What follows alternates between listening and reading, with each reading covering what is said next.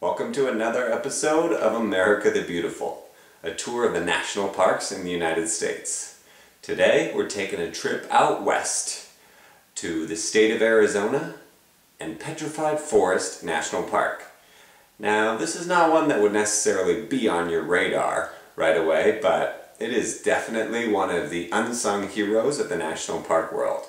And mainly, uh, what makes it so interesting is in the name the petrified forests that exist within the park.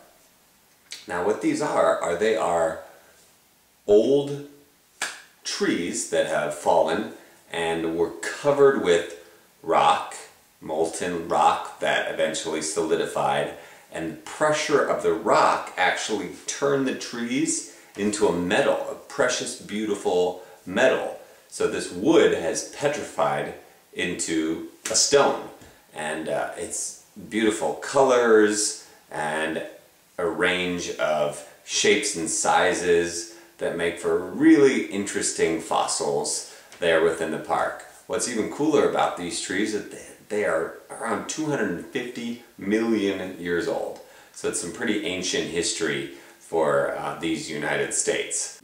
These petrified forests and the other rocks surrounding it are part of the Chinle formation that creates the beautiful colors that you see in that part of the country.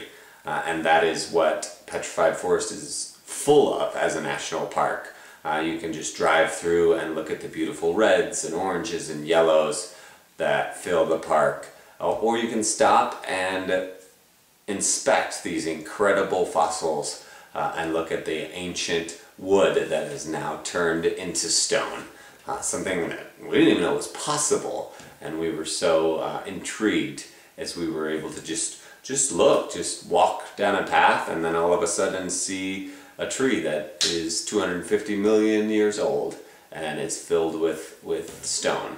So it's definitely one to check out and experience something that you probably have never seen before and may never again uh, at Petrified Forest National Park. It, it's not one that you'd spend too long, not a lot of other outdoor activities, but definitely worth a stop, especially if you're in the area, say going to the Grand Canyon uh, or Mesa Verde or another of the national parks there. Uh, definitely swing into Petrified Forest National Park. A little bit in the middle of nowhere, but it's a beautiful part of the country, the desert, and the colors there are worth experiencing in and of themselves. So that's Petrified Forest National Park. It's a good one, check it out. That's it for this episode of America the Beautiful. I'm your host, Jimmy Mack. We'll see you next time.